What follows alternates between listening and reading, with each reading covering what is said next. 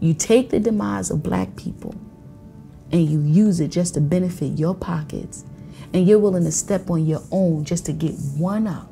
Black Lives Matter. Yeah, it sounds good. We're gonna put push your narrative, push your agenda, get donations, and I'm gonna chill up in my $2 million mansion while niggas is really dying on the streets right now. Like the Black Lives Matter mural on Fifth Avenue vandalized twice in one day. On Fifth Avenue, as a woman identified by police as 29-year-old Bevelyn Beatty splatters black paint on the yellow letters of the Black Lives Matter mural. They don't care! We killing each other left and right! I genuinely felt like they were using us once again. And at this time, while all the protesting was happening, we were dropping like flies on the street. Dropping like flies. My cousin had just gotten shot. He had been in a shootout um, in Staten Island, and so he had got shot. He ended up getting his leg amputated. So he was actually in the hospital when it happened.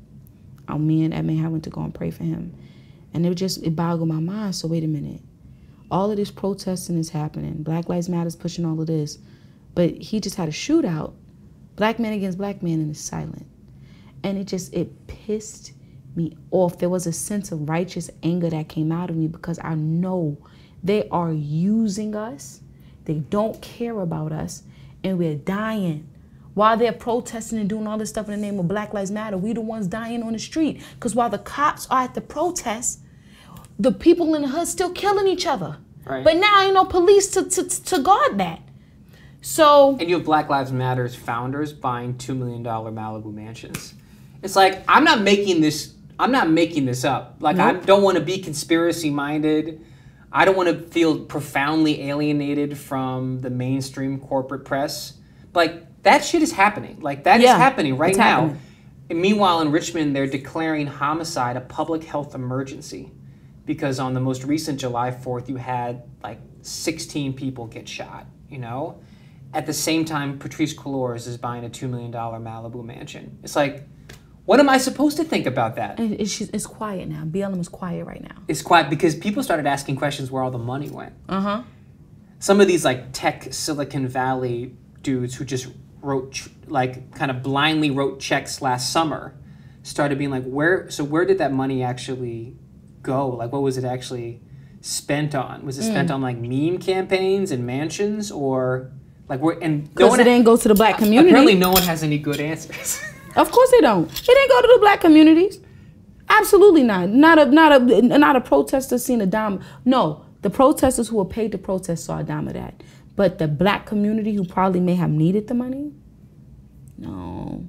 You take the demise of black people and you use it just to benefit your pockets, and you're willing to step on your own just to get one up so you can live peacefully while your people in the street are dying and you sleep peacefully at night. You don't even care.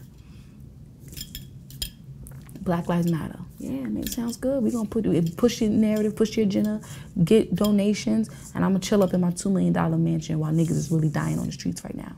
And it doesn't even bother them, it don't phase them. largely peaceful demonstrations. Peaceful protests turned violent. Mostly peaceful protests, NYPD saying when night fell, the destruction began. In New York City, dozens of looters seen kicking in windows and breaking into stores across Midtown Manhattan. So I move up here, still have a relationship with my dad or whatever like that. And at this point, you know, I'm selling drugs, I'm hanging out. So sometimes I'm, you know, I get a hit a good lick of money. I'll spot them like 500 here or there, whatever. Um, just moving and shaking. And I mean, since I was 14, um, I've been working on my own from McDonald's and just work my way up and always hustling and have some type of something going because my mom really didn't uh, take care of us. Once, once we turned 16, we was on our own pay whatever clothes you get you pay for whatever as all she said all our supply is a roof over your head and food you're on your own at that stage Mm-hmm. what are you being told by your friends and family about how the fact that you're a black woman plays into where you are in the world. Listen let me tell you something. This black woman song that everybody's singing now this is new. This is new. Back even if it was something that people talked about it wasn't such a propaganda like it is now. You know what i'm saying, saying? Yeah. me being I, for me it never factored in oh i'm black so i can't make it. You know what i'm saying? And i never how can i say this when I had issues not making it, it wasn't because I was black. It was because I was a criminal. Let's call a spade a spade. Do you hear what I just said? Now I'm gonna be real. It had nothing to do with the fact that I was black, but it was because I was a criminal. I was moving criminally. You know what I'm saying? So you're, you you you can't expect blessings and and, and, and and honest living and gifting when you're not moving right. The Bible speaks clearly on that. You go, you're gonna reap what you sow. So when I was living a criminal lifestyle, I had encounters with cops and issues based off of the wrong that I did. But I'm still just as black as I was back then. My mindset has changed. My sense of integrity has changed. The way I handle people has changed. The way I handle my, everything's changed. And now the doors have opened, and it has nothing to do with black. Black was never a factor. And I, I, this is the part that irritates me. People have painted this picture that white people and black people go around and everything is race first and then. That is a lie from the pit of hell. Nine times out of ten, whether you like it or not, not it's character. You see somebody that's moving shady, it doesn't matter whether you black, Spanish, white, whatever they are. If they shady, you don't want to hang with. Don't, listen, I'm black, but guess what? Homie could be as black as me. He moving funny. I'm good. I don't want. Mm, I don't want. I'm chilling. I don't want to get robbed. You know what I mean? Yeah. So it has nothing to do with color. We've made everything about color to where we've forgotten about character, and in a sense, we're playing ourselves.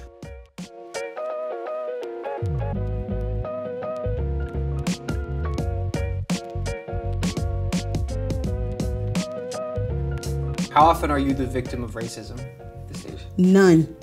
You see how racism hasn't became a factor at all? Let me tell you something. My great grandma was white. Okay? She was white. I got cousins in my family right now that white. My cousin that just passed away, Tristina, she was half white and half Native American. She don't look no black. When I show people she was my cousin, they can't believe it. Right? I have never in my life, if anything, the racism I seen was with my own family and how much they hate crackers. That's what they would say. You crackers, you crackhead. And it would be the ones mixed up with the most white that hate white people for some reason.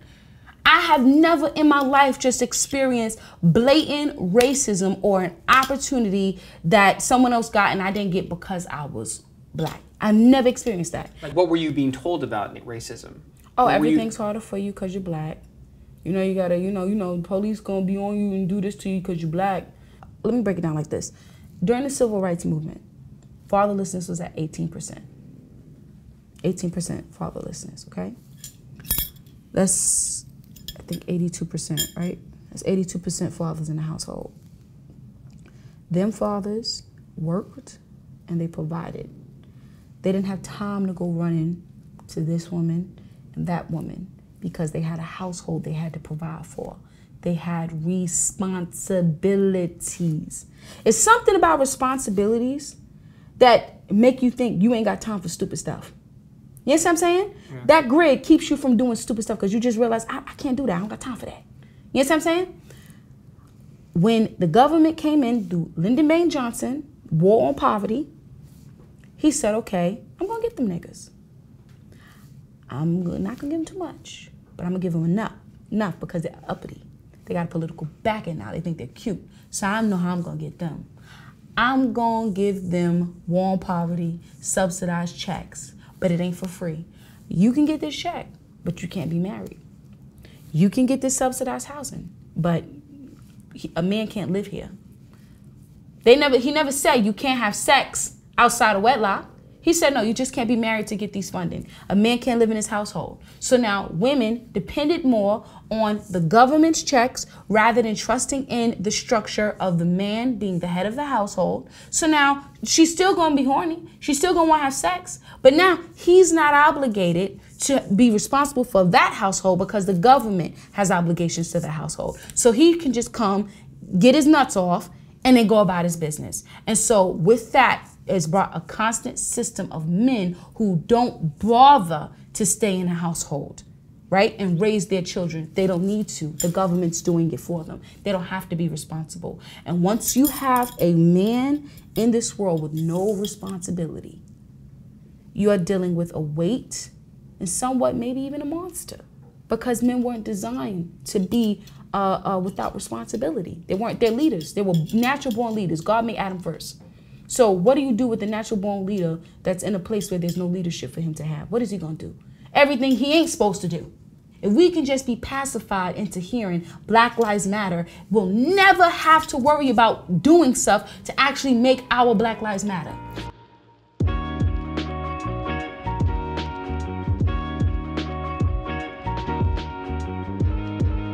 We commit 55% of the crime, violent, murderous crimes in this nation, and we're only 12% of the community. That's a problem. And but there's a way in which the absolute refusal or rendering that what you just said like toxic or cancelable or worthy of being deplatformed is itself like profound it is itself profoundly racist because the reason they don't want you to talk about those because that doesn't fit their narrative. and it's also because you're not allowed to say that a black person could be morally responsible for something. That's right. Listen, who gonna stop me?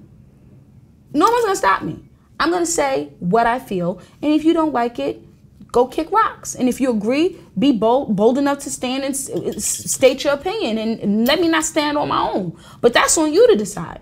But at the end of the day, reality is reality. It doesn't matter whether you're white, no matter if you were black, I would say the same thing. So now what? Because you're white, I can't say it because you're white. I'm not doing that. They on their own with that. That's definitely going to be the end.